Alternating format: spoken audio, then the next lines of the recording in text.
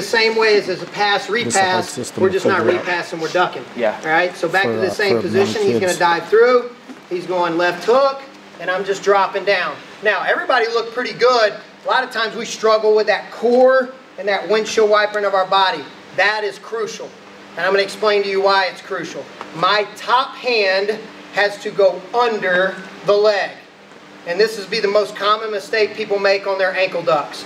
They'll dive out, they'll get in good position, they'll windshield wiper their body, they'll do all this work and get to a good position to duck, and then they'll leave their arm under the leg and then sit up and try to start wrestling this position. And basically handcuff themselves into finishing. I need this hand desperately to finish this position when I duck an ankle. Okay? But if I don't get my arm under, I'm going to handcuff myself. All right? So, this is what we've got to make an adjustment. Heel come to my butt, and this windshield wiper position, everybody's getting real good. Now, when I windshield wiper, top hand comes under. Everybody see that?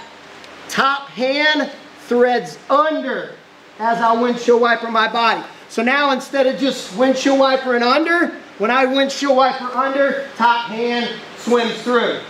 Now, as soon as I sit up, foot driving, this hand's looking for bottom shoulder. So I'm driving, driving, driving into this guy. Look, now stay on that foot, stay on that foot. I'm looking for bottom shoulder. Bottom shoulder, right here. I might get a cradle, I might get lucky here, but I'll tell you this. The number one thing that stops his scrambling other than my feet in the mat and getting his foot in the air and weight towards his head is finding his bottom shoulder in a scramble. Okay? If you just grabbed a guy that's pretty good at scrambling and you didn't know much, and all you did was roll around and try to trap his bottom shoulder with one of your hands, you'd be surprised at how much little he can roll around. Okay? That's a crucial thing to stopping scrambling, finding his bottom shoulder. That keeps his leg passes out of the equation, ankle ducks, all kind of stuff. If I can get there, trap his shoulder to the mat, just like I would if I was running a Turk. Okay? But if I trap that shoulder, there's not a lot of rolling around.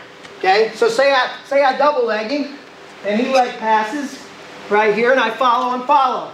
No more repassing. I'm to duck. So I dive out, two hands to the sock, windshield wiper, arm under, top hand under, heel to my butt. I'm sitting up to this hurdle stretch. I'm not out of the woods yet. I've got to drive off this foot and get weight over my foot. Then I'm starting to look bottom shoulder. The longer he hangs on, the worse it's going to get. Because I've got my legs back up under me, I got my feet back up under me. At this point, I'm just sprawling. I'm getting back to a normal baseline defensive position. If he hangs on, then like I said, I could step up here and start looking for some cradles. But worst case scenario, I shot a double. He tried to take me into some deep water scrambling, and I shut him down. Okay? So you can start with him diving through, and you just getting your ducks, all right? And then you can do it with your double leg. And then again, no matter what leg he passes, in what position, I've always got an ankle duck as the answer. So I could shoot a single leg, he could spin out and high leg over, right? Pass my leg, I could follow, duck, right? It doesn't matter when he passes or how he passes or what, what attack he passes out of. If I know an ankle duck and he passes my leg, I just stay with him. I stay woke. I keep following and I finish it off. So start just by diving out, ducking under and driving over your foot and then double leg. Maybe a single leg spin out. That way he's getting scramble reps on one end, I'm getting counter scramble reps on the other end. And that's how we just keep building and building and getting better and getting better. And then your confidence level goes through the roof. Questions? We good? Can you go through it or not? No. What? Can you go through through it one more time to your duck? Sure, sure.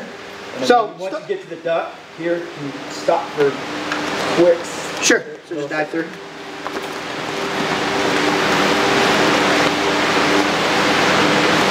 Go, go, Huh? go. Right there. I'm, I'm just looking at what you're doing with your right hand. Once This hand is Right, that, I mean, I know that's, that's, that's your turk or, or your claw Yeah. or your shoulder. I, I was wondering, I was, I wanted to see what you were doing with this, with You your can right. maybe hook the button. No, I'm right- oh, po- yeah, that's I'm what I'm posting. posting. Posting. Posting hundred percent. This is important. See, I'm driving, I'm driving, I'm driving. Okay, head and chest are up, weight on my feet. If you want to attack bicep, you can, but that's not where I want to be. I want to be bottom shoulder. And I can't be nice about this. I can't be nice about this. Again, the longer he hangs on, the worse it's going to get for him. So as I duck, I'm getting tall. I'm getting tall with my chest, tall with my head. I'm working straight into him. Getting weight on my feet, getting my feet back to my body.